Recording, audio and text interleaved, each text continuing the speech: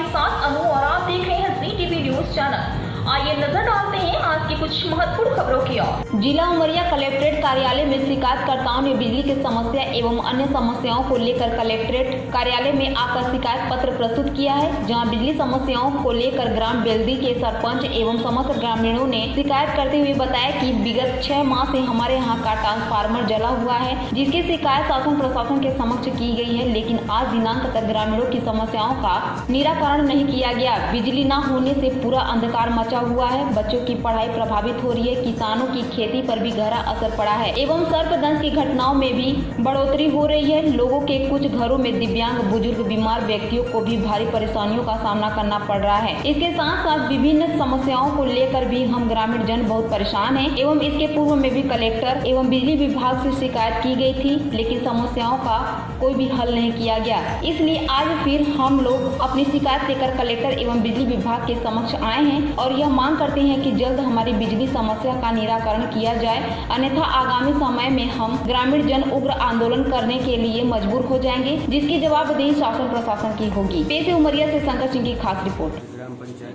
जनपद पंचायत मानपुर, जिला उमरिया का रहने वाला जो कि छोटी बेलदी में विगत छह माह से ट्रांसफार्मर पूरी तरह जल चुका है, जिससे किसान की पूरी तरह खेती सूख चुकी है, तथा पढ़ने वाले बच्चे पढ़ने में असमर्थ हैं।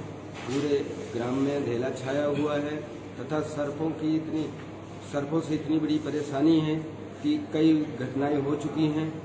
लेकिन इसके बाद भी शासन और प्रशासन इस पंचायत दिल्ली का सरपंच हूँ, उमेश कौल। जी, मेरे यहाँ ट्रांसफार्मर छः माह से जला हुआ है।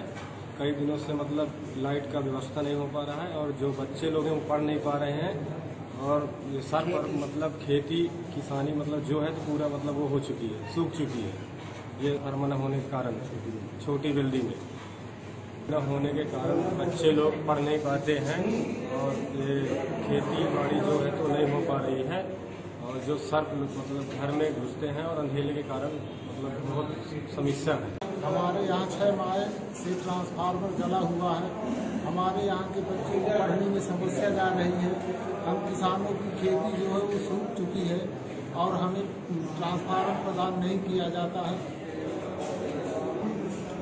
अपनी समस्या कलेक्टर साहब को भी आकर के और बताए हैं। विद्युत विभाग को भी बार बार जाकर के आवेदन देते हैं और उनसे निवेदन करते हैं कि हमें बिजली प्रदान की जाए, लेकिन आज तक हमें बिजली किसी भी तरीके से प्रदान नहीं छोटी बेल्दी से लल्ला यादव बोल रहे हूँ। हमारे छोटी बेल्दी का ट्रांसफार्मर आज छः माह से जला हुआ है और वहाँ पर भारी समस्या है। बच्चे पढ़ नहीं रहा है, किसानी जो करे हैं किसान किसानी की खेती सूख रही है, हम खाद भी लिए हैं, बीज भी लिए हैं, उसका पैसा कहाँ से पाएँगे तो देंगे।